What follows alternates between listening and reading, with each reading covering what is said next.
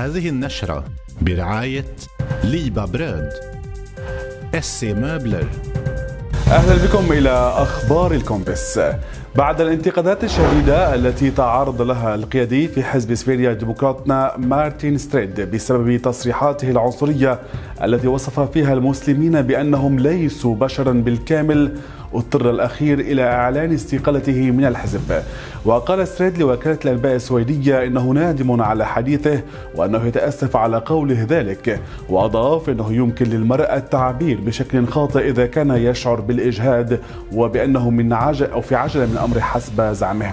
ومن جهته زعيم سيبيريا ديمقراطنا المناهض للأجانب جيمي إكسون رد على تصريحات عضو الحزب بالقول إنه هذا أسوأ ما سمعه من قبل. واصفا التصريح بالكلام الغبي واعتبر أن ما قاله مارتن ستريد عنصري أو أقرب للعنصرية. محكمة الاستئناف في سكونه تؤكد الحكم الصادر عن محكمة مالمو بالسجن لمدة ستة أشهر على رجل يبلغ من العمر 35 عاما. دعا عبر الفيسبوك إلى جمع الأموال لمنظمات إرهابية.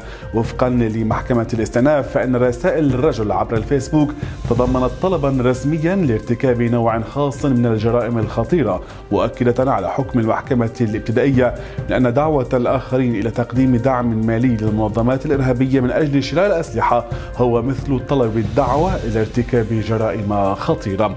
الحكم يعتبر هو الأول من نوعه في السويد حيث يجري إدانة شخص بتهمة دعوة أشخاص آخرين للتبرع بالأموال لصالح منظمات إرهابية.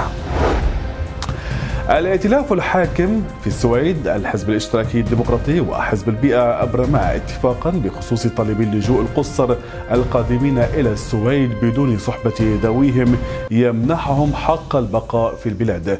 وبحسب صحيفة أفتن بولادت فإن الاتفاق يعني أن الغالبية العظمى من هذه المجموعة أي من طالبي اللجوء القصر سيحصلون على فرصة للبقاء في السويد. وكان الائتلاف الحكومي قد عقد مفاوضات شاقة خلال اليومين الماضيين وتوصل إلى اتفاق بالإجماع حسب مصادر الصحيفة. وقد شكلت هذه القضية عقدة شائكة بين حزبي الاشتراكي الديمقراطي والبيئة حيث تكهن البعض إلى إمكانية أن تؤدي إلى كسر الائتلاف بينهما بسبب تشدد حزب رئيس الوزراء في هذا الموضوع مقابل رفض البيئة عمليات ترحيل القصر.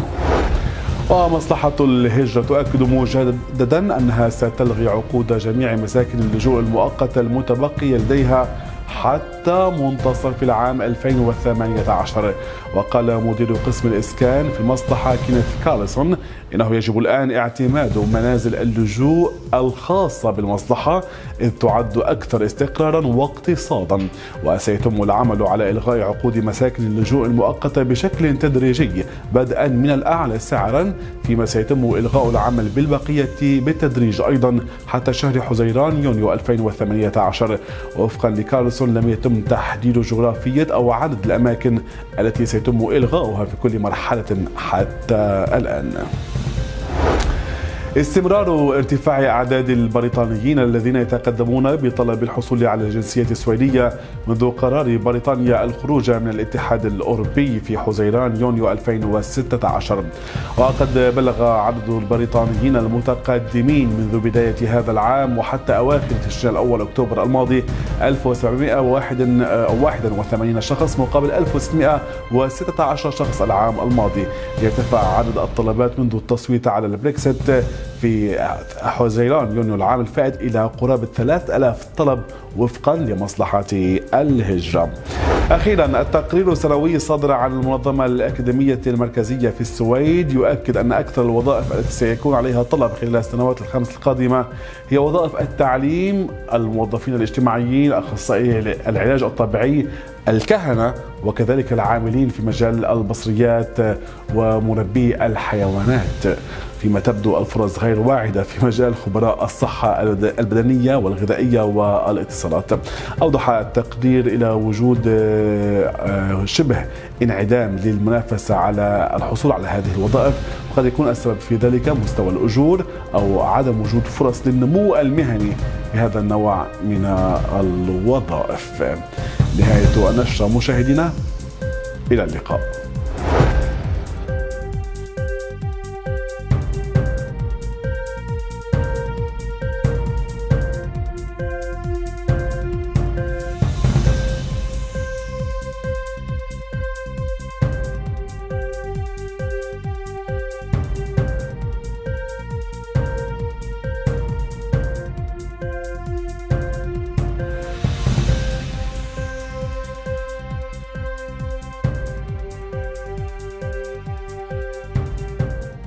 هذه النشرة برعاية ليبا بريد اس مبلر